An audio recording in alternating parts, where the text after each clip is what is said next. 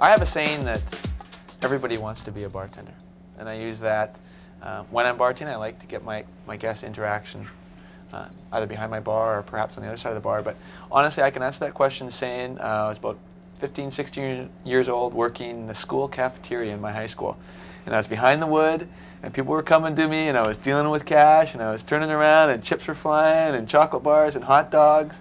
And uh, they always wanted me in the cafeteria because I was had the ability to kind of, I guess, you know, work the crowd, or not work the crowd, but sell and and take the money and the transactions really came easy to me and I didn't have any difficulties with that. And honestly, thereafter I remember thinking to myself, that was a lot of fun, I enjoyed it, I was good at it.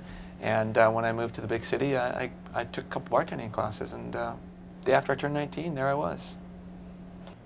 Well, this will be an interesting story for sure, but what made you want to be in this industry?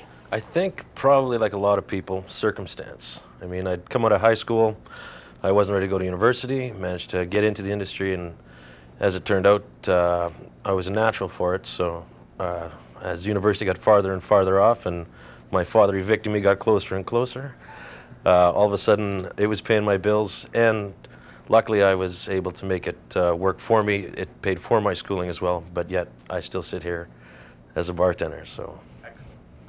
Taking Scott's course, both courses, his uh, beginner level and his mastery level, has improved uh, my service all all over he puts it right down on paper for you. He puts it right out on videos for you. He puts it in his seminars right out there for you. Plain Jane, this is how it is.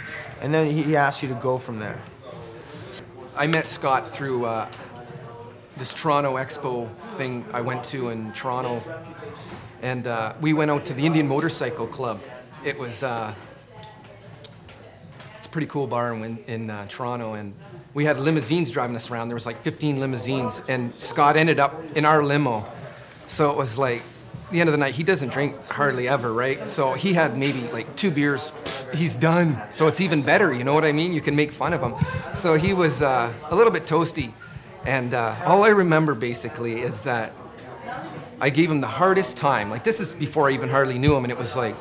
Uh, Ooh, Mr. Big Bartender throwing bottles in the air, Mr. Highfalutin writing a book, making videos. Ooh, big shooter, you know, like this. And I rat. I mean, I felt sorry for him. Like, well, no, I didn't. I didn't feel sorry for him at all, actually. But I just razzed him. And we're in a limousine downtown Toronto, and it was just, it was wonderful to be able to razz somebody. Well, I looked up to him, but you know what I mean, to break the level and the, and you know, he's just, he's human. You know, yeah, and that's the greatest thing. He's a real person, and that really really helped to, uh, you know, be a part of his world and help spread it too, you know, like the love and. I don't think I really have any big, big screw up stories. I've never done anything terribly wrong other than. screw up stories I always um, like to turn around into a positive. And I guess probably one that comes to mind would be um, a power outage. It was on my birthday. Um, and I actually wasn't um, behind the bar or managing at the time. It was my birthday, and we were all having a good time. And there was a massive power outage. It was a Friday night. The entire block uh, of the bars were out. And basically, what happened was we uh, we just started selling salads um, off the out of the kitchen and lit candles everywhere and uh, and everybody kind of got supportive in that idea and, and all the guests stayed and, and continued to spend and we all went manual and everybody had calculators and I'll never forget everybody. But it was a, a, night that I'll never forget. I mean it was obviously my birthday and I was having a good time but everybody else had a really good time too. So we, we took what could have been a dismal situation with a power outage obviously. It's pretty difficult to run a bar but they managed to still pour the alcohol and uh, went and got some canned pop and things like this to, to make the night go well. So and we had a we had a good night that night. I remember specifically. So. Uh, let me think here. Uh, screw up stories. Nope, can't Tapping think of any. kegs or. Uh... Oh yeah, yeah. Once I was uh, once I was changing a keg in uh, in a keg room that was uh, in the parking lot, three stories down, and I tried to tried to lift a keg down from the third, three high, and these are big kegs, and fell totally pinned me pin me. Oh no, I have a better screw up story. I was uh, I was opening up this uh, cooler, this walk-in cooler, big, large cooler, and uh, I bent over to pick up a case of beer and I knocked myself out on the handle, on the steel handle of the uh, of the cooler door. So that was right. great. and we, everyone everyone was looking for him, and. Everyone looked over at down. the cooler, and all you could see is was his legs sticking out of the cooler door. Oh my God, is I Simone remember that. okay? And it was yeah, Still. like a light. Sleeping. People who care enough about what they do to think about how to do it better and then actually go out and do something about it.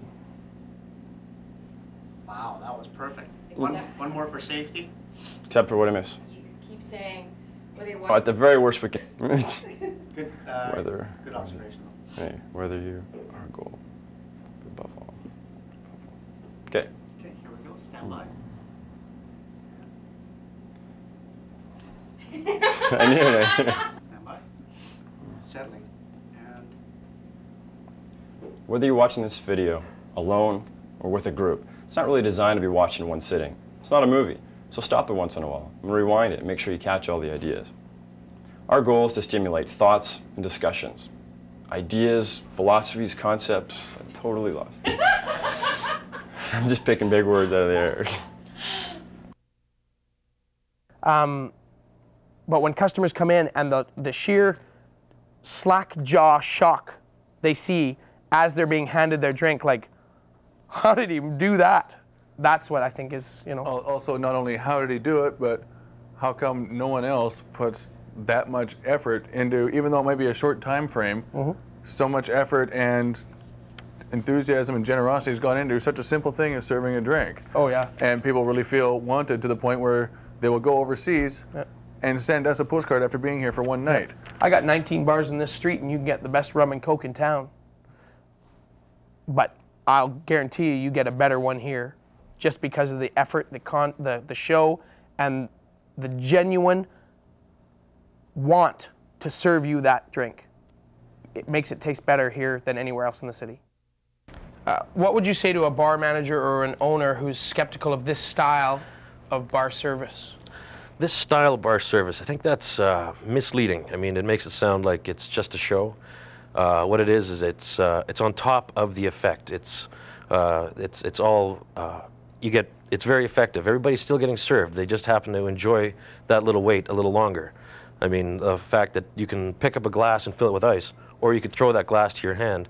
Literally, throwing it to your hand is going to be faster. It's going to be more entertaining. The customer is, is actually getting better service. And uh, if uh, there's occasion to have a, a bit more of a, uh, a flipping show put on, you know, very few bartenders uh, work alone. There's always uh, another person around that's going to be taking the heat off that guy for that one minute, and that'll put on uh, a bit of a show. The customers like it. The other people uh, are still getting everything. I would say that it's uh, in it, it. It happens in addition to already good service. I feel like I'm still a rookie, actually. I get practical jokes played on me all the time. One particular one is uh, my boss comes and says, quickly, quickly, it's an emergency. I need you to go go to the maintenance shop and go get me a long weight. Quick, quick, quick, the kegs are exploding, the kegs are exploding, go get me the long. So I'm running over there to the maintenance shop. I'm like, I need the long weight. Just wait a minute. So I'm waiting there for about 15 minutes. Can, can I get that long wait? It's an emergency. Just wait a minute. Another 15 minutes. I need the long wait. Just wait a minute. Another 15 minutes, and then it clues in. I'm here for a long wait.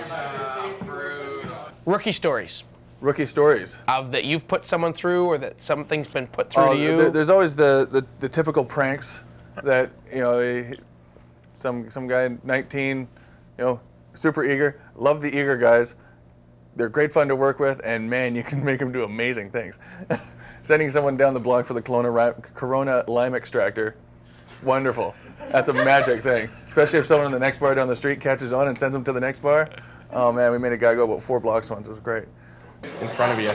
Yeah. Okay, cool. Okay, we're ready.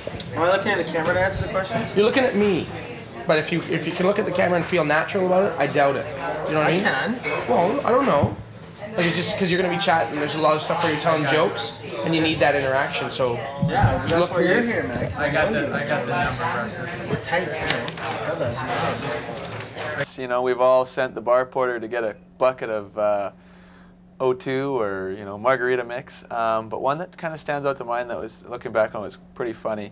I was managing a bar at the time, uh, and we had uh, a couple thousand feet of draft line, and I was my job was to clean the draft lines once a week.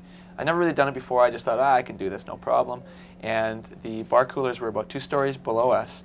Um, and I went down. Um, I had been upstairs and loose and cleaned the lines upstairs on the draft towers, and then in putting the faucets back I didn't tighten them with the wrench because again I didn't take a, a course or no one really showed me properly how to do this. I should have taken some lessons. So I didn't tighten them completely. Went downstairs, tapped all the kegs, and when the pressure came through, basically when I as I was coming up the stairs taking my time, the bartender comes right down, shut the beer taps off, shut the beer taps off. I went and shut them off, and uh, after coming upstairs, the entire bar was flooded in beer, and it was basically what I was told was a massive sprinkler system, basically of about six beer handles, and it showed beer, and it was in Whistler, and all these regulars are putting their mouths over the beer handles because I hadn't tightened these things up, so it looked like one big fountain display of of uh, barley hops, malt, and yeast, I guess, upstairs in my bar. Well, me and Scott don't really work together that much, and even in the early days, we never really worked together. But uh, he was very dangerous in the beginning. I've heard a lot of dangerous stories. Please. And uh, a danger could be like him trying a new trick or expecting someone to be as alert as he is and not being as alert and being hit or whatnot. People not understanding that you always got to tell someone that you're behind someone if you don't want to get hit. And especially with the amount of stuff that flies around when he is working, it's uh, it's like being at war or something like that. got to really pay attention. But other than that, not really. All right. Thus, the no practicing at work rule came in later in the bar smart course. Fair enough. I, I don't mean to put any pressure on you, um, but honestly, this is, I think, is one of the most uh, important questions of this entire series. Um, why do you want to be exceptional at what you do in this industry, or I guess in any industry? My answer to that would be, why wouldn't I? Um, that's like entering a game and not wanting to win, not having the desire to win. Uh, that's like cashing in a hundred dollar bill and not wanting your hundred dollars in, in change. It's just that doesn't even enter the uh, equation for me. I mean, why wouldn't you want to be the best that you can be, whether it be uh, bartending, uh, a lawyer, a doctor, a teacher, cleaning toilets? I mean, why wouldn't you want to be the best toilet cleaner you could be? that didn't go. I don't want to clean toilets. Can we do that one again? yeah, you betcha. We should anyway. I was on. A, I Can you shut the little wee ones up? I was doing well there. It's uh, it's been around now for, geez, a few years for sure. And I was never the big flair person, but I had a good head for it. I was research and development for Scott.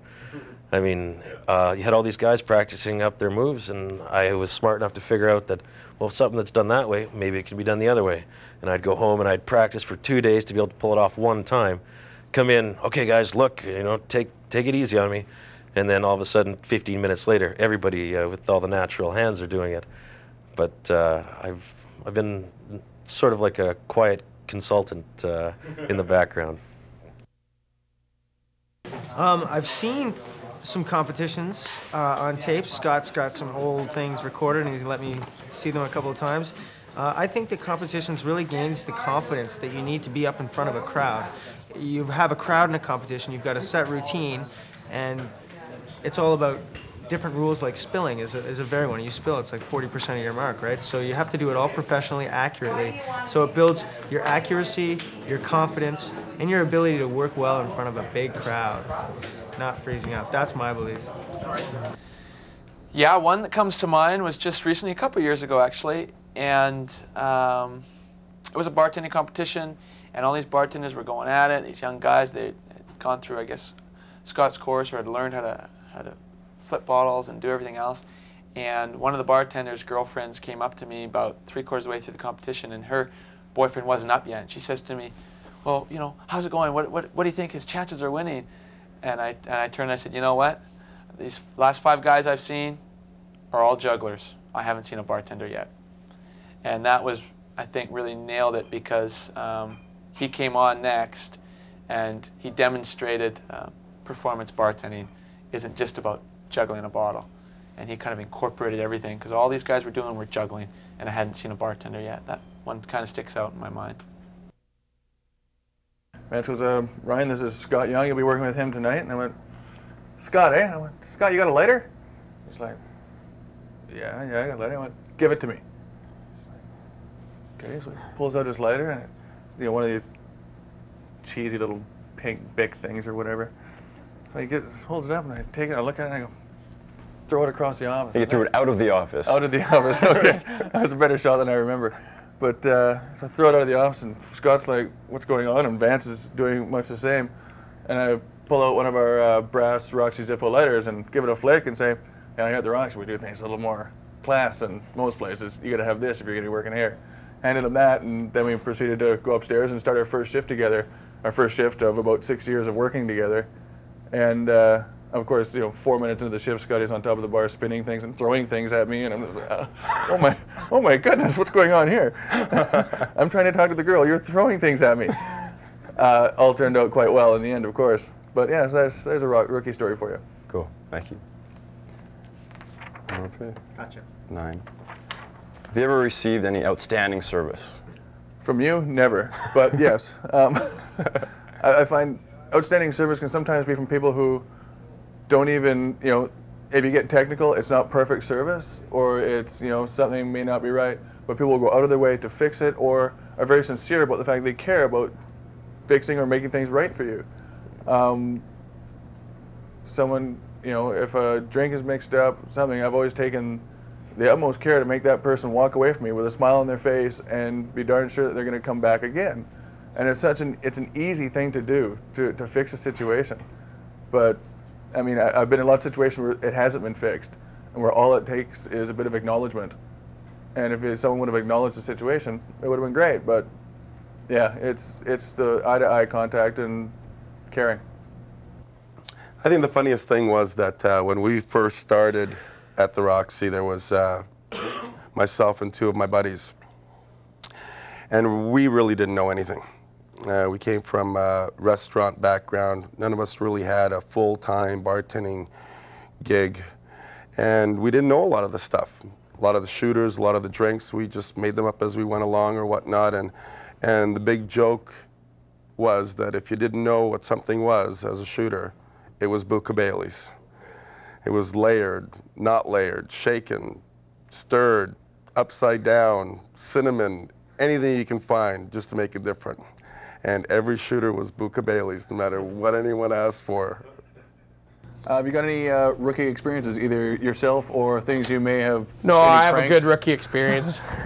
uh, again, I was working up at Apex Alpine, a great resort up in the Okanagan, and uh, I was bartending. It was my first or second shift, and they sent me out to go check the uh, the I want to call it the fridge where we keep our beer, but we don't. It wasn't. It was outside, in the snow, and it was a heater that kept the room at a proper temperature for the beer. So instead of a cooler, we had the heater going, and uh, we had kegs stacked up three high. It was a little shack like uh, it would be in your house if you stored your lawnmower. And uh, I opened the door. I went in there. I tried to pull a keg off the tried to pull a keg off the top row, and toppled six kegs onto me, and no one came to look for me for 45 minutes. Oh no! I w- it was because it was outside. I'm shouting. I'm like, ah, please. My legs. I don't know if, honest to God, if anything was broken because I couldn't get out. There was so much weight on me with these full kegs of beer, and uh, I got the manager comes storming out, angry. What are you? Oh my God! Somebody call an ambulance! And I was just lied flat out with my arms sticking out of the cooler. It was bad. It was really, really bad. As, as a little side note, perhaps I should add in that on- once I had, you know, gone past the bartending level and become a manager, as you are now, although not quite as good as you, I did the, uh, well, intelligent thing of locking myself in a cooler. That's why they got a new push button thing on the bottom, isn't it? No, the handle came out when I was closing the door, and it felt. I saw it fall, and I, I had that overlapping period of time where even as my hand is closing the door, I went, "I'm going to lock myself in here." Whack. and so, so I, I, I spent a fair bit of time planning my situation. I tried to crawl out through the uh, vegetable section in the kitchen, and couldn't get out. So eventually, I had to turn off all of the beer taps on the draft until finally someone came to figure out figure out what exactly when had I happened uh, to the draft. when I first started with Earls, they locked me in the cooler, and I pissed them off because I ate about nine desserts. Folks, this has been a long time in the making. Okay. Anyways, I'm sorry. Back to our regularly scheduled program.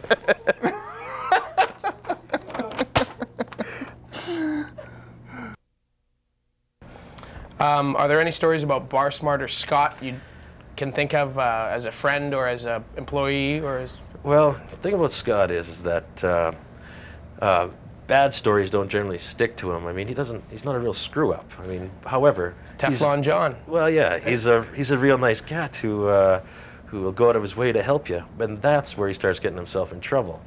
I mean, I myself have uh, atomized two of his vehicles. Actually, one of them I vaporized because it just disappeared, and the other one uh, was. You ever see like a car crusher? I I did that. So, and you know, I would feel bad, but I'm not the only guy. I mean, there's four or five people walking around out there, you know, who've run him over in motorboats or, you know, set his uh, vehicle ablaze. Excellent. Well, I've, I've seen a lot and been asked to participate in a, a lot of things, but really haven't because there hasn't been anything of quality. And that's why I'm doing uh, this because I think it's the, the best uh, product out there, being Bar Smart. And if someone wants to, uh, to have a good start, I think this is a great start for them. Or even if it's not starting, it's a good addition to what you know. Awesome.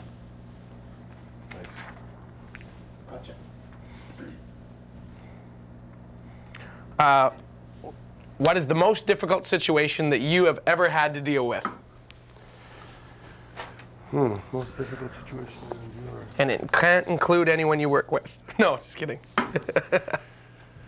that makes it tough. Um, no, it can. I think some difficult situations follow us certain types of guys or a certain individual or whatnot. I don't think weirdness really follows me. I think fun follows me, but I don't think weirdness does. Try to stay away from weirdness. What was the most rewarding experience you've ever had while you were working? Um, you know, I've been around a long time, and I've seen a lot of kids come up uh, through, you know, maybe they're a cook or or a busboy or something that manages to squeeze into the day porting position or the night porting.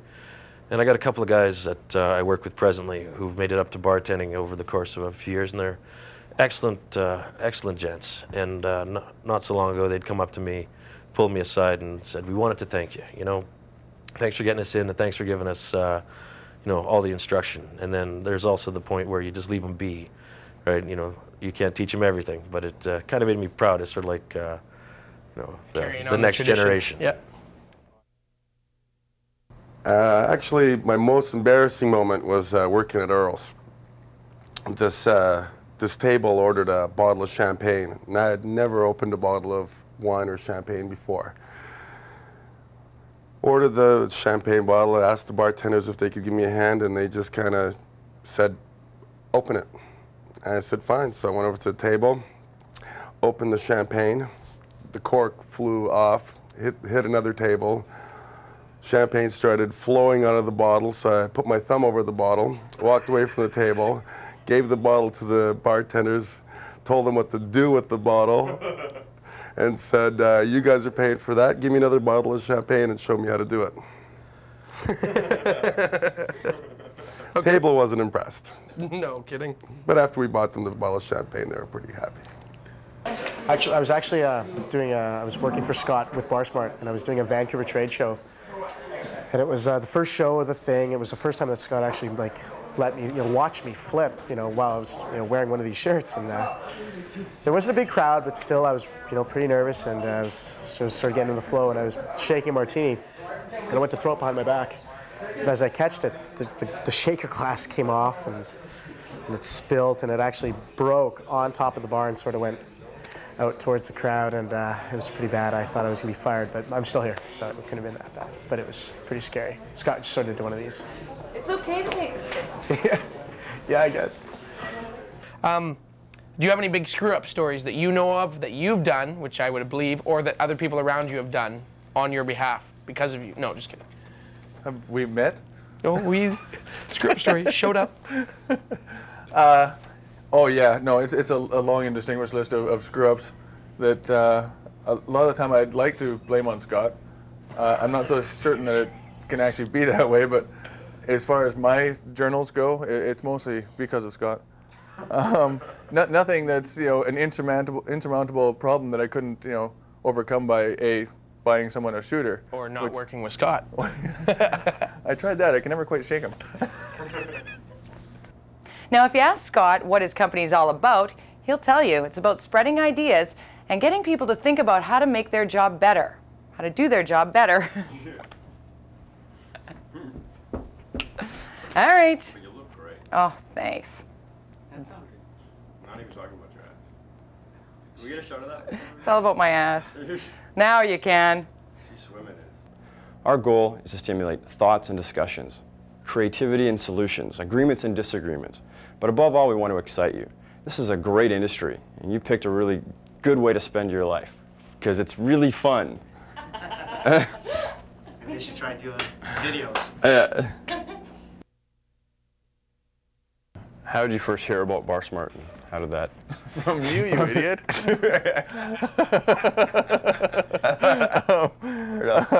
Yeah, when you called me on the phone and said, I got this great idea I want to do. Um, basically, yeah, it was your us talking in the beginning was your incredible enthusiasm for this project that um, I was like, wow, it sounds like a lot of work. but but uh, I mean, honestly, your enthusiasm didn't show any boundaries whatsoever, and I've always respected that. And uh, you've done a, a great amount of work with it, and I'm really impressed with it. I congratulate you on it. Thanks. Wow, it's a lot of people were involved. Thank you. Scott Young called me um, and said, I want to teach people how to do this. Uh, come on over and see what I got. And he had about three pages of foolscap paper scribbled down, and you just come up with a name. And uh, that's when I first heard about it. I know uh, in talking with him that uh, just prior to that, that his drive uh, and what he wanted to do and, and teach and touch other people with his knowledge, um, here we are today. That's the first time I heard about it. I remember him calling me. I came over. I'm gonna make a shameless pitch right here now for Scott's mom. Okay? Uh, Scott is the most genuine person I've ever met in my life, and I know where he gets it from. His mom is so special. If you are emailing her, or emailing Scott, or faxing, or calling on the phone, that is genuine on the other end. She and Scott care so much about this company and what Extreme Bartending by Bar Smart represent. It's just, it's a warming feeling to be around it. It's very nice. It's, uh, Mom, I love you. As communications director for Bar Smart, uh, what online questions are you uh, most asked about Scott or about his company or Well, the two areas that I get the most questions in are one, the area of fire tricks.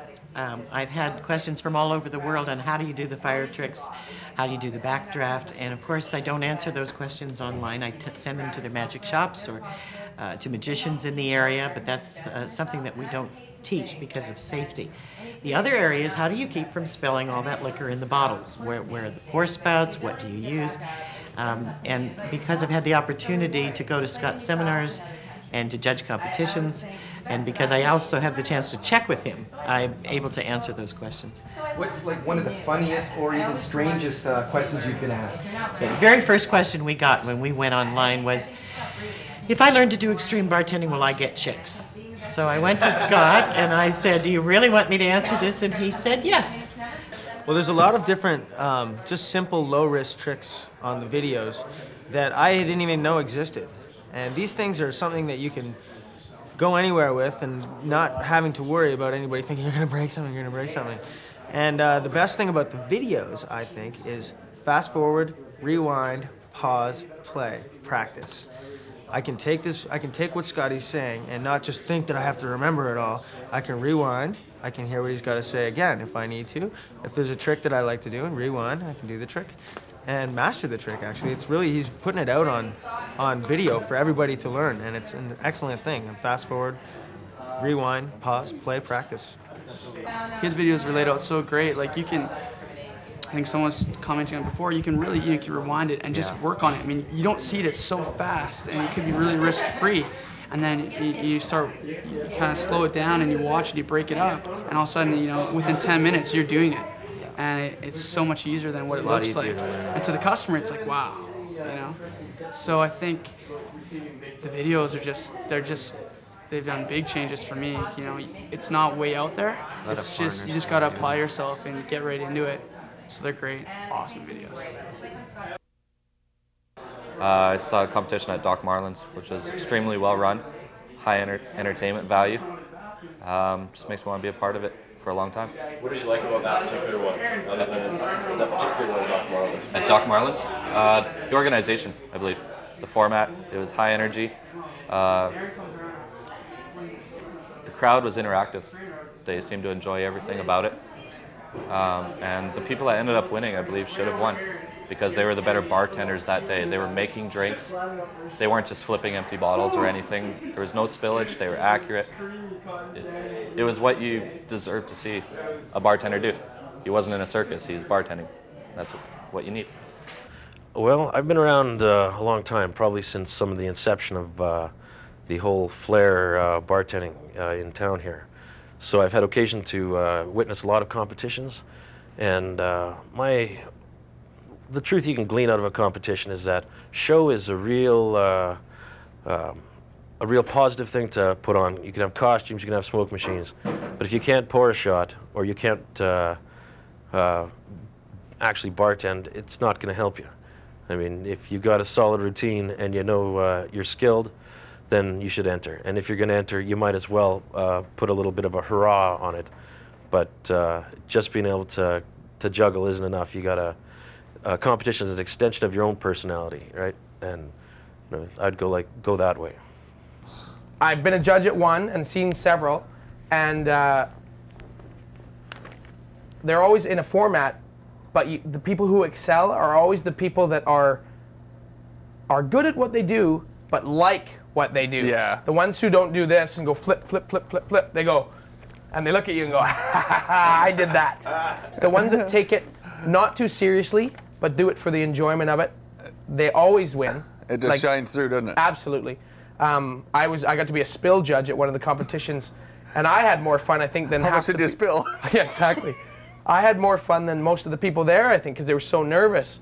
I at one point had a, a tablecloth wrapped around my head for this guy's routine, and he was like, you know, you threw me off a little bit there. I said, buddy, you, you can't be spilling so much booze on me. but uh, you know, you look at these people, and the ones who do it do it professionally, but do it and they love it, and that's what makes them win. Their personal flair. Speak, speaking of spillage, have you ever uh, been witness to Scott's game of Paint the Porter? Involving a lot of juices, grenadine, and multicolored. Uh, I can't say that I've ever done that, Scott being such a professional that uh, wouldn't do anything like that except with the uh, cheaper it, it, it looks so like you- you've just hired a porter from a Jerry Yeah. Garcia Grateful Dead concert. We don't uh, let them wear white anymore. Safety first, I always say. Safety first. I remember one time Trent was throwing someone out, and I had a full tray, and I was running. He was right behind me throwing this. I was running so fast, dipped into the side booth. It was just like, whew, didn't spill a drop. Um, I know you pretty well, so it's kind of a given this next question. But uh, for the people who don't know you, uh, are there any strange things that ever happened to you at work? Wow. Um, I would say that if there aren't strange things happening at work, uh, either I'm not there or uh, it's Christmas Day, the one day of the year you know you're closed. Um, it, it's a real fluid industry. I mean, you can't pick and choose who's walking in your door, and uh, you can't pick and choose how they're going to react with people inside. So there's always going to be something interesting, and if you're not paying attention, you're missing a lot of the, the good parts of it. Anything that you can think of off the top of your head? Well, I guess last week I had a fellow in uh, who looked like a perfectly uh, normal guy, and unbeknownst to me, I realized he was in an argument, heard him over my shoulder, looked back, there's nobody else there, right? But uh, he was tearing a strip off this chair like uh, nobody's business. Well, how about uh, strange, odd, bizarre things happen to you at work? Or connected to work? Constantly. Constantly. I remember uh, I was here no more than three months. I was working, uh, I was managing the bar, and I it was a slow night, Tuesday night, and about uh, five or six girls were on the dance floor. And uh, I said to them, you know, ladies, you got to calm down your dancing because they were taking each other and throwing them into other girls dancing. And I said, you got to stop. Well, honest to God, they turned around and they beat the crap out of me. I I'd never seen it. I please, you have to leave. We don't have to do nothing. And it took seven of us, me and six doormen, to take five girls out of here because they were fighting so bad. I've never seen anything like it. It's the weirdest story I've ever seen in my life. I had bruises up the side of my head from one of them smacking me, and me looking at her going, "You're serious." I've never seen anything like it. So that's my screw up You know story. I, I've never heard anything like it. Oh, you didn't know I got beat up by girls? No. Yeah, all the time. I always suspected, but I, High school, elementary school, the Roxy. Um, do you have any screw up stories? Anything that's uh, gone on in your history that's been brutal? Oh no. Not me. um, Bart actually, uh, when I was learning how to flip and uh, when I was working at the Roxy, I uh, one day walking by the table, I grabbed a Corona bottle, flipped it up in the air, missed it. I flipped it really high, and I was it hit this guy in the head, and he's like, he goes, "What was that? What was that?" And all of his friends were looking around, and I looked at him. I go, "The sky is falling. The sky is falling," and I walked away laughing my head off. Um, I just one time I was uh, with Scott. I just finished taking his course, and uh, he was at the bar that I work at, the Roxy, and I was bussing tables, and his girlfriend asked me for a glass of water. So it's Scott, right? I just came from his course. I'm all excited. I'm pumped. I know everything's going on. I watched the videos. It's all crazy. So I go out, run to get him a glass of water, and I bring it back, and I have the lime in my hands, ready to do the old around the back into the glass trick. It's simply, that's exactly how it goes. But with, I'm still a rookie. I'm all excited. I'm all nervous. It's Scott. He's watching me. I get doing me a favor, getting him, getting his girlfriend a glass of water. Anyways, I throw it up, and I overthrow it. So I'm trying to catch it with the glass, and pours it all over his girlfriend. One of my most embarrassings, actually. Any concerning Scott, maybe? Any, any stories concerning Scott?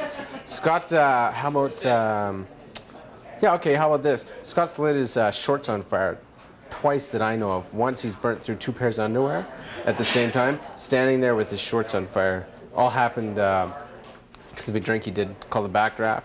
Right. And uh, um, yeah, actually, I'm going to leave that there. Just imagine Scott with his shorts on fire and uh, not even knowing it. How's that? fire out? No, no.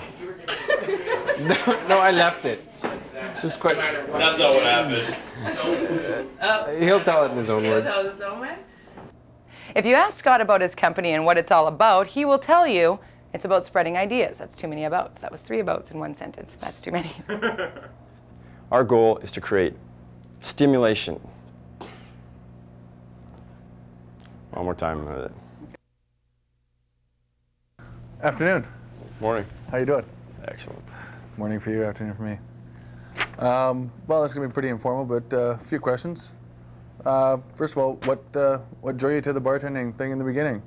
What started it? Yeah, good question. Uh, I was actually in college and not doing as well as I should have been, and uh, I guess it, the bartending had always interested me.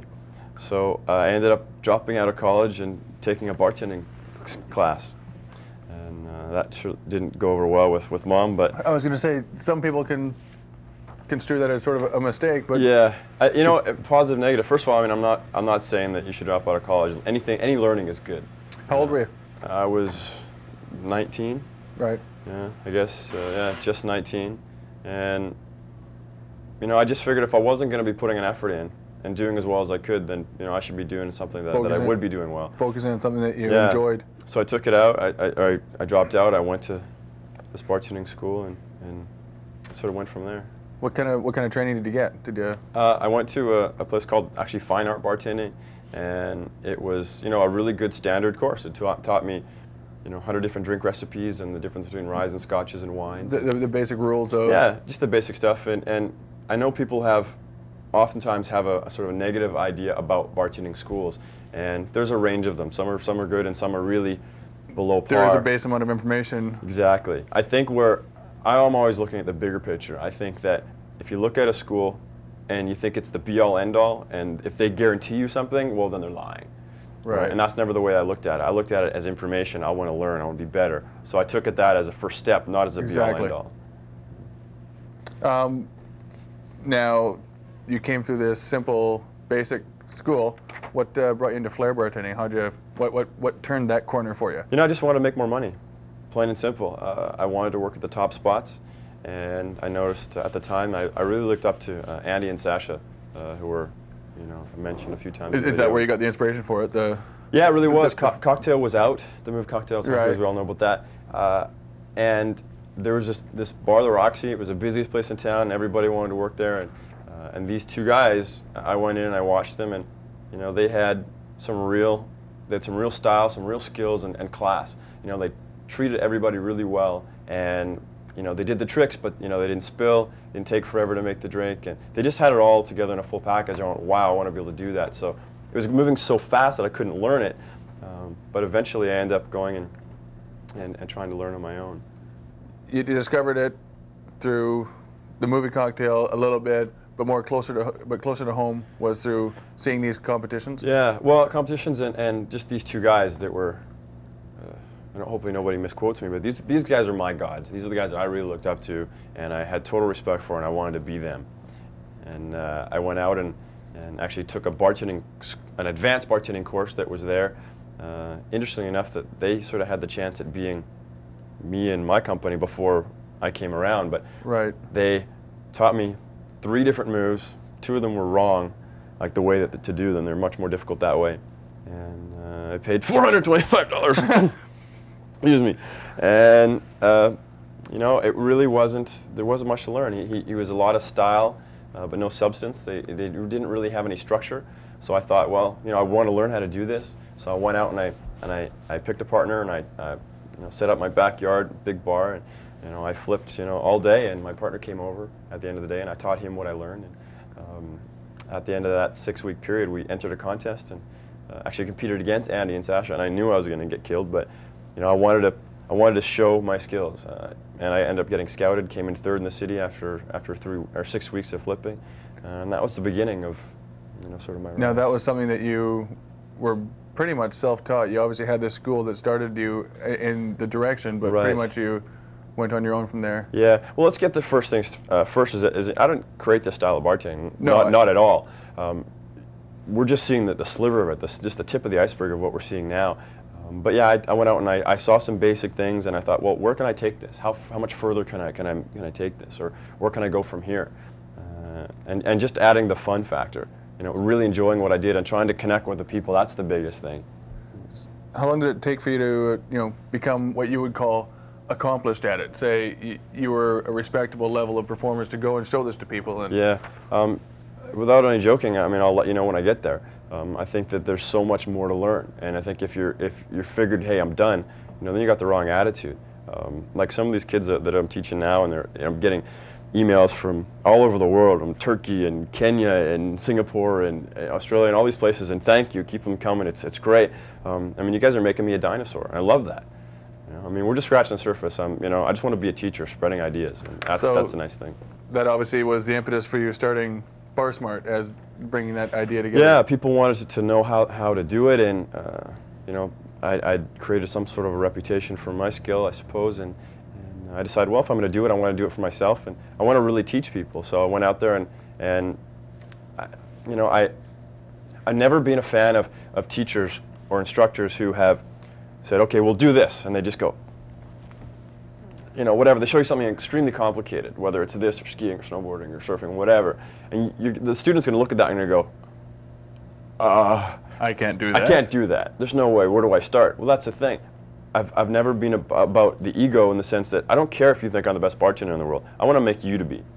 Right, so I want to show you step one. No, I'm not going to start at step 57. I mean, that's just ridiculous. That's just an ego trip for the instructor. Right? I want you to really learn. Fair enough. Um, where'd you get the name Bar Smart? Um, actually, Vance Campbell, who I've mentioned earlier in some of these videos, uh, was the guy who brought me into the Roxy and uh, one of the smartest men in, in this industry that I know. Uh, I, I was having trouble getting a name uh, for you know for the company, and I called him, and uh, actually he had this name. It was uh, it was there for a while. I didn't really know what to do with it, um, but I called him from uh, I was in Calgary at the time, and I called him in Vancouver, and he said, "Well, what about Bar Smart?" I went, I like it. That's a nice ring to It's it. a good What- beginning. What, was your, uh, like the initial concept? What was your, the impetus for it, the idea initially? Uh, just I wanted to teach people how to have more fun behind the bar. you know, be entertaining. Again, it's all our main our main things. uh, Without spilling, without slowing down to make a drink, you know, without having the attitude. You know, fun is great, but you know, let's play together. What uh, have you changed that? Is it? I mean, you've been doing this for a while now. Is, is that idea changed at all? Is it morphed into anything? You know, I think that that's that's the basis of it, and I think it's it's spread more to just to sharing ideas. Um, I speak a lot at, at trade shows and, and conventions, and uh, as you hopefully you're to see from these videos, that we don't we're not taking the attitude of you know we're right and you're wrong. Listen to us. That's that's not what it's about. It's about let's talk about what works for you. So I think if anything, we've we've sort of expanded upon that idea that uh, you know we want to we want to share these ideas and so we can all do better. So you're not actually. Uh, sorry. You're not changing uh, bartending in particular, just the attitude that goes with it, as much as the style that it's done in. Yeah, I think, I mean, the attitude is, is really the main thing. That there's so many bartenders out there who seem to forget that it's, it's about, it's my privilege to be able to serve you as a customer. There's, there's so many different places you can choose that when you come into the bar, I better be the best bartender that you've ever seen. Do you see that developing further as you know we're in a new century now? Yeah, I do. I see it as a trend because there's so much competition that the people who don't do that are falling by the wayside. Um, I mentioned a couple names. I mean, anybody been to Disneyland? Well, it's the happiest place on earth. You know, you go there, and it's you know people are are genuinely happy to serve you. I mean, they're hey, welcome. I mean, that's a great experience, a great feeling. That's what I want to give. I want people to feel like you're in my living room. Hey, welcome to my home. You know, how can we make you happy? Professional yet homey. It's You know, well, Sasha, is, we keep mentioning him, but you know, clean bar is a happy bar, and treat people like it's your home party. Well, that's what I try to do. a happy bar being a place you'll go back to time and time again. I think so. I mean, if you walk into a place and uh, you can't help but have a smile on your face just because the people around you. Yeah, it really it's infectious, and if you learn one thing out of anything that we talk about, just just smile more. You know. Um, now, you've obviously had some people who've uh, influenced you over the time. Any any particular people who've influenced you to you know channel you to the direction you're in today? Like, Yeah, uh, as I mentioned, Andy and Sasha earlier, um, just they were the full package, and I can see that it really is possible to do this style of bartending, you know, professionally and use it as a tool. Um, there's you, um, you know, you were the first bartender that I worked with, you know, in the Roxy, and and I mean, other than just being hilarious because you're nuts, uh, you know, you, you, you take care of people. there, there's Uh, nothing better than having the freedom to be nuts. Exactly, and that's the big thing that I learned actually from you and, and uh, well, Chris Simone's like this now in the, my later time. But I think the more that, that you let your own personality out, uh, I think the better. Just you're being pure, you're being clean. It's just it's happening naturally. Um, I learned a lot from Gregor as well. Uh, we both worked with him, Gregor, uh, and uh, you know just being nice to the people. Doesn't matter whether you flip a bottle or not. You know you never really did a whole lot, although you're much better than you think. Um, and I never had to worry about throwing things too because you're always going to catch it. But uh, Or, you know or, just or, at least take a good hit. take it. Well, I always respect It that. bounced about off my hand. I almost had it, Scotty. Yeah. um, now, is there anyone in particular who's been the strongest role model? Hmm. I mean, lots of people have influenced you, but is there someone, say, outside of the industry who is a model in your attitudes? I've always looked at people who had a great work ethic, um, and I, I mentioned, I got a couple quotes at the end uh, of these videos, uh, but Michael Jordan and Wayne Gretzky, uh, because, you know, they worked hard. Like Michael Jordan, you know, he got cut from a softball, sophomore basketball team. You know, he wasn't good enough, and that pissed him off. And I Yeah. liked that. You know, I've had that sort of experience An before. internal belief being Exactly. Then he went back and he said, you know what? That's the last time they're ever going to cut me. And that was the last time that ever happened. He worked his butt off and it was a force of will. And that's what I take out of that. Same with Wayne Gretzky. You know, uh, you know, I've, I've had the pleasure to serve him occasionally. And, you know, real classy guy, which is a big thing too. Skill is great, but just because you're, you know, at the top of your industry doesn't mean you have to be, you know, and have an attitude about it. Um, but Wayne Gretzky, you know, he always uh, he worked harder than anybody, and I like that the work ethic. Talent's great, skills are great, but you know, what are you doing every day? Are you getting up tomorrow and doing something, baby steps? What are you doing the next day? Are you doing anything about your passion? Are you anything to make it happen? There's so many people who have all sorts of talent, but you know, what do they do really? If you take a look at that, I think that you're gonna you're gonna realize that we could do more. I think unfulfilled potential is one of the biggest cliches of our time. Yeah, and you know what? I'm I'm a, a victim of that. Um, I used to play a lot of baseball when I was younger, and I thought that's what I was going to do. I got scouted a little bit, I had a couple tryouts, but you know, if I look back on that, and I do once in a while, I think I really didn't put enough effort into it. There was a time when I had a window of opportunity, and I didn't seize the day. You know, I didn't step up to the plate and, and do something every day. And I look at people like this all the time that have all sorts of potential. You know, but what are you doing today to do that? If that's your passion, that's your dream. What are the baby steps that you're taking today and tomorrow and the day after that and the day after that? You know, what are you really doing? I think I think we're really lazy sometimes, and I find that in myself sometimes. What is your uh, what is your philosophy of a, a good, strong business? Something that you feel proud of? Quality, quality and reputation. I think um, a number of years ago, I wrote a uh, something that's called a new beginning for our company. When I, I, reinvested and went after the bigger goals, I went and wrote I wrote the book. I wrote the first series of videos, and I went out there and I and I produced them. Uh, and wanted to let the world know that, that we existed. And it started out by saying we want to do th- want to say what we do, do what we say, do it better than anybody, and not have, have an attitude about it, and enjoy life because you never know when we could get hit by that bus. But that idea of quality, you know, that's what I want. People to walk away thinking that's the best money I've ever spent. Basically, you want something you can be proud of. Do you have pride in what is? Do you have a moment where you're just really proud of what you've put together here? You know, every day when I get the emails from all around the world, um, you know, money's great and I want to make a living so I can go, you know, surfing and golfing and, and that's, you know, thank you. Um, but what's really nice is that you get, you know, comments from people like that, you've helped me, you've changed my life, you just gave me an idea that I, I clicked with and, you know, I ran with and it's, it's made my life better. That kind of stuff is the best. Now, I've taken a few other courses. Why is yours so much different? Why, why does yours instill a sense of pride and why does it overflow with an enthusiasm like yours does. I know. I hope. I hope um, that just the passion comes through. You know, I'm a bartender. I love doing what I do. I like dealing with people, talking about customer service, and uh, it's just it, it's a love of the game, if you will. And if I can instill that into somebody, well, then they're going to do great. You know, but it's just you know, work hard and enjoy what you're doing. It's also a way to overcome. I mean, lots of people have that stigma attached to bartender. Oh, oh, you're a bartender. Obviously, that's not a bad thing, but some people have that in their minds. Right. What do you say to people who have that, you know, worry or feel inferior because of that? Yeah. Um, you know, I just don't worry about it. I go and do the best that I can every day. You know, I would enjoy like this breath. That's, I mean, wow, this is great. This instant talking to you and having this interview, talking, thinking about the ideas that you're bringing up. And I'm a bartender, yeah, absolutely. I love it. I get to deal with people and get to meet people from all over the world. And uh, I mean, how many jobs do you know that people come in and give you money and thank you for it? You know, it's, it's kind of nice. It's a wonderful thing. Now, you've been doing this for a while. I know you're all flash and I've worked with you for a long time and I know how good you are. But let's get to something a little more embarrassing. What's your most embarrassing moment? Now, I don't want you to, you know, bring it down to one particular moment because I know there's been a few. There's, there's been a few. But uh, you know, something that sticks out. Somebody that give me a drink, from. please. Uh, I think that really, I mean, I've had I've had more screw ups than you know any of you guys are going to. Um, I told a couple in the last series of videos. Um, something happened the other day. Uh, I had a, a, big group of people from a bar who I, I trained many of their staff and they all came in. There's like 10 of them, and I was making a, you know, a, a, round of shooters for them, a pyramid.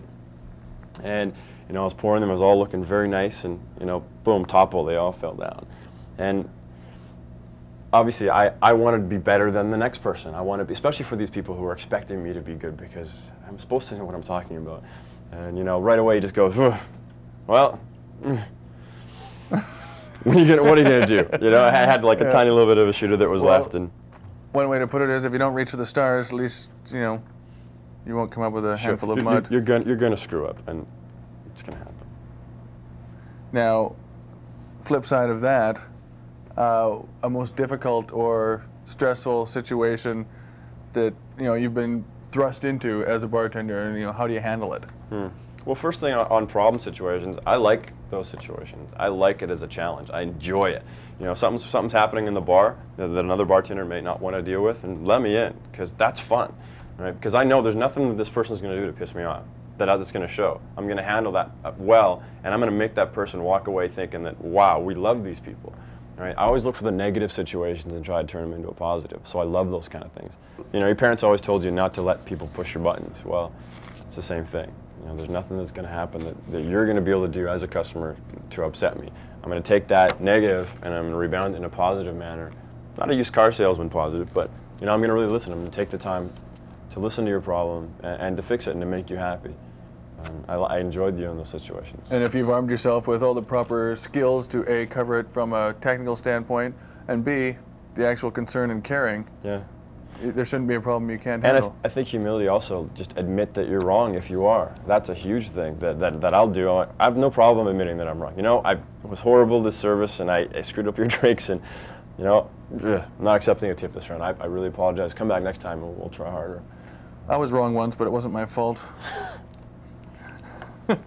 no, but then again, okay. On the flip side of that, funniest moments? Any uh, particular? Funniest moments. Uh, I really enjoy getting students that I've trained back behind the bar. Um, they'll order a drinks round with their friends, and I'll bring them to the side of the bar.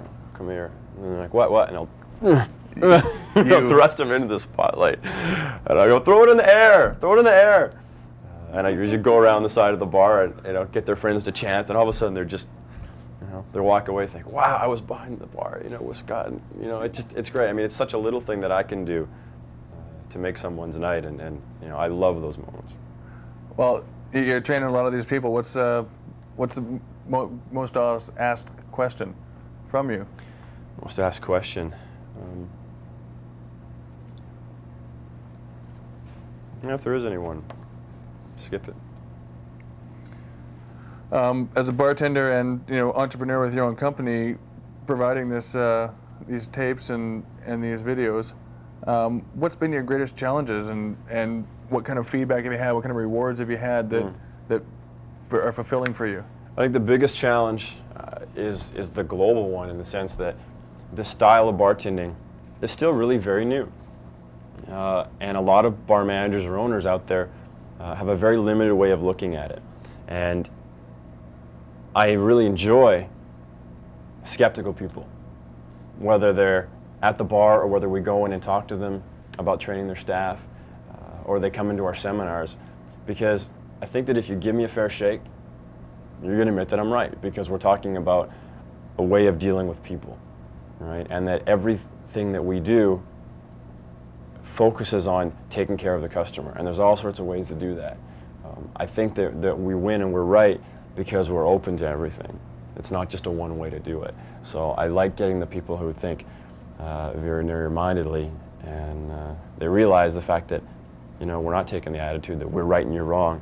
Uh, we don't have an adversarial uh, attitude. So right away, when people come in and, and listen to us or talk to us, uh, we change them around a little bit. And all of a sudden, they're like, hey, maybe there are some new possibilities I haven't considered yet.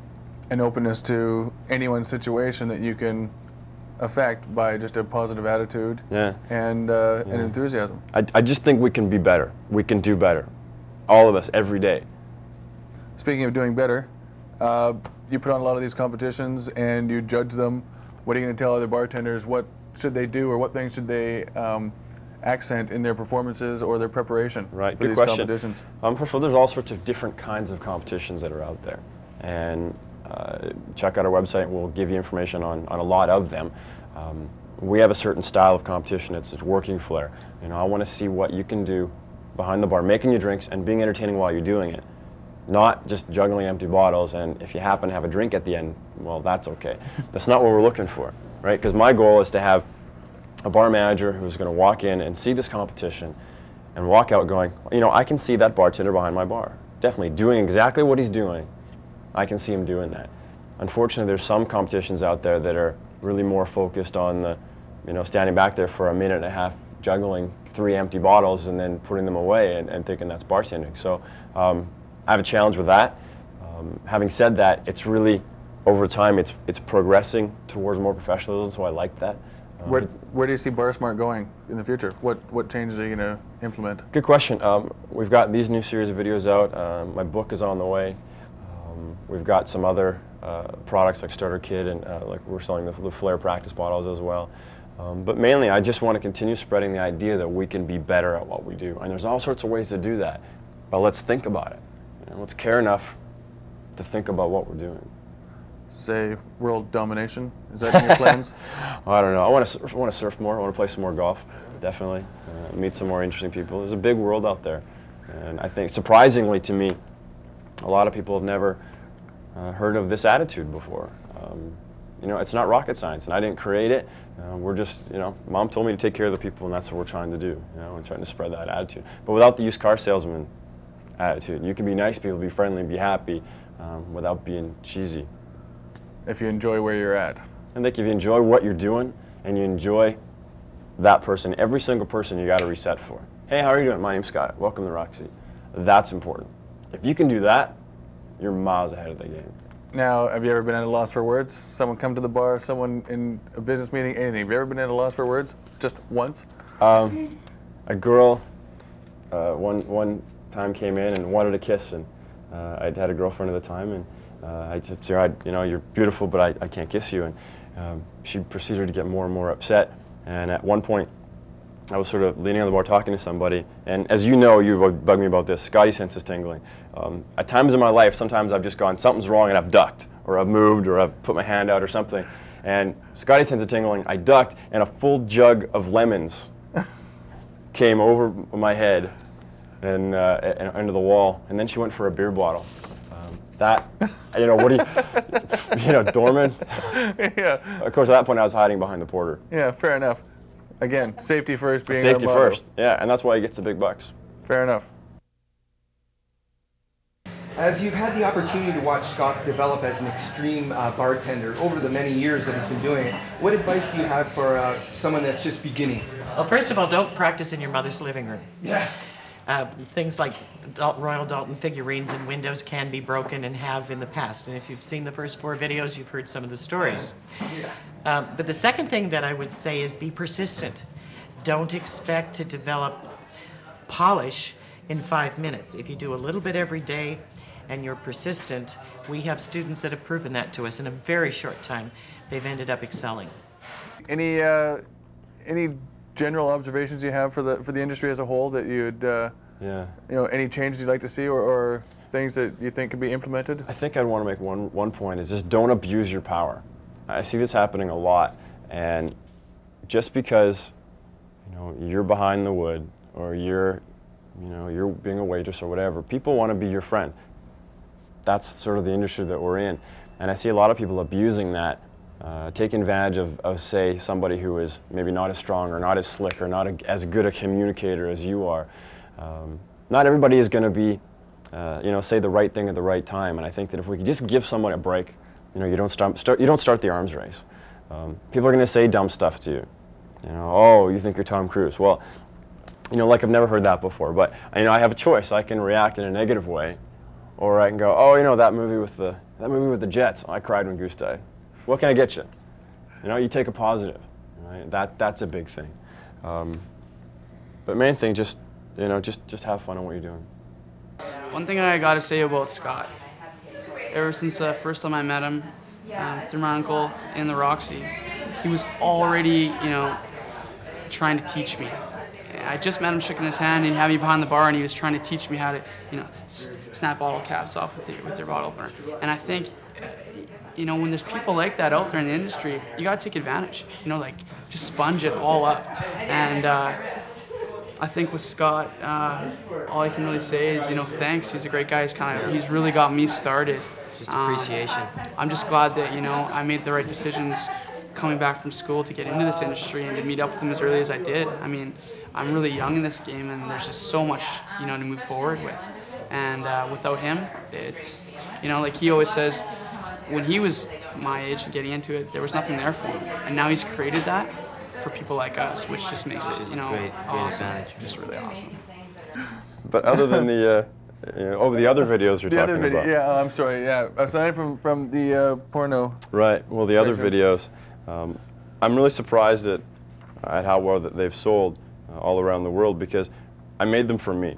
You know, I made them because I had some ideas and I wanted to, I wanted to really teach people how to how to do this style, and wanted to start out with the most basic things, the most easiest, no risk things, and uh, you know, I'm really happy with the way things have gone. But you know, my whole philosophy of when we were filming it is that I really didn't care whether we sold six copies or not. You know, I wanted it to be great. I wanted it to be good enough that it would be current, you know, and useful 50 years from now. Um, that was my first goal. My second goal is I wanted it to, to show that, hey, we're just bartenders, we're having fun. It's okay to be a little crazy. It's okay to be, you know, to not be perfect and have your hair mess, messed and whatever. Uh, you know, have fun at what you're doing. And I hope that really came through. And also make it worldwide. I mean, it's amazing how it applies no matter where you are in the world.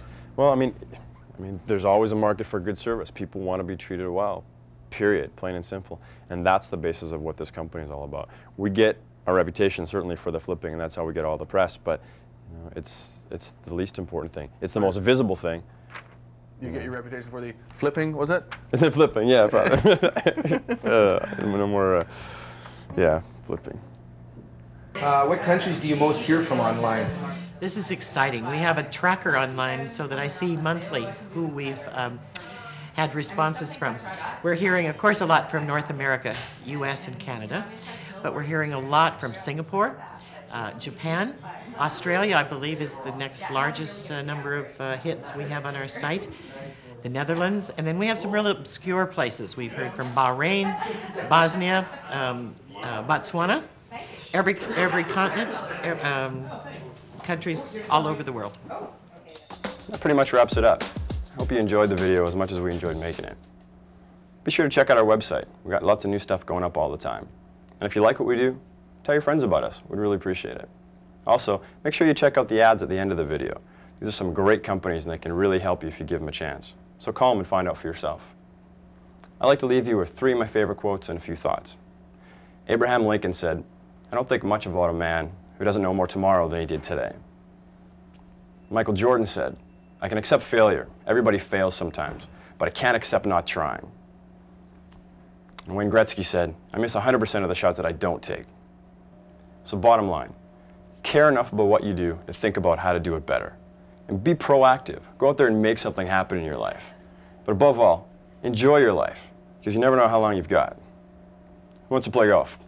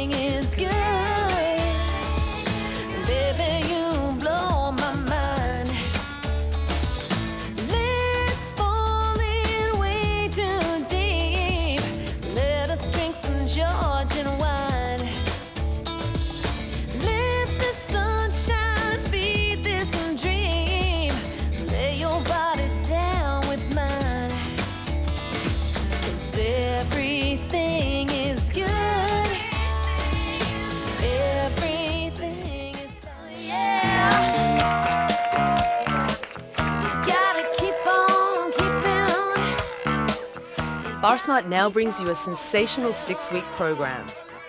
You'll learn everything you need to know about serving drinks with style.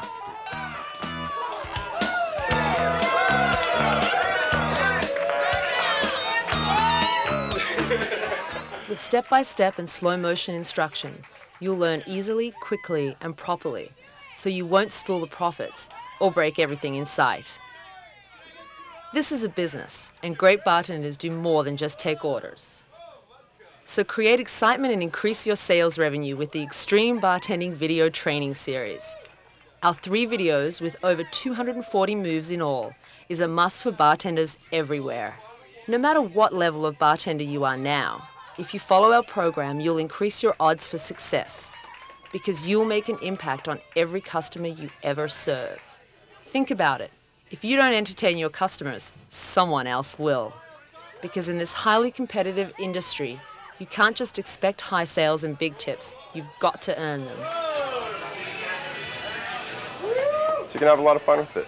You can make more money for your bar, make more money for yourself, and if you do it properly, it's a win-win-win situation for everybody.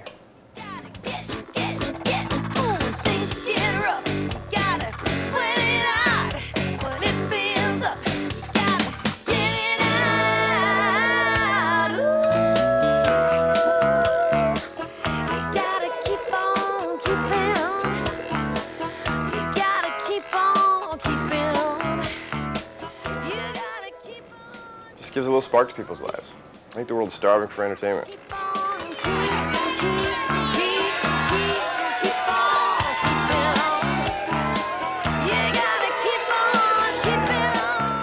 Cocktail the movie. That was great. It was a really good beginning. But, uh, that was 1988. Hopefully by now we've taken it further. My man